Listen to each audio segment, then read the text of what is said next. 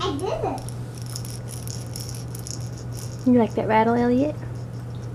Yeah, Elliot can hold that. Yeah, he's old enough now. He's pretty amazed by it.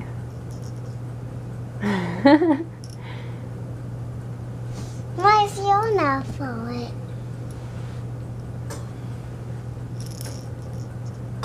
Because he's discovered his hands.